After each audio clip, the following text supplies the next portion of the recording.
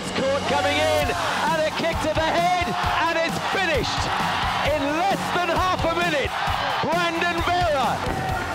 Oh, rocked him already. Split by oh, oh, left hand.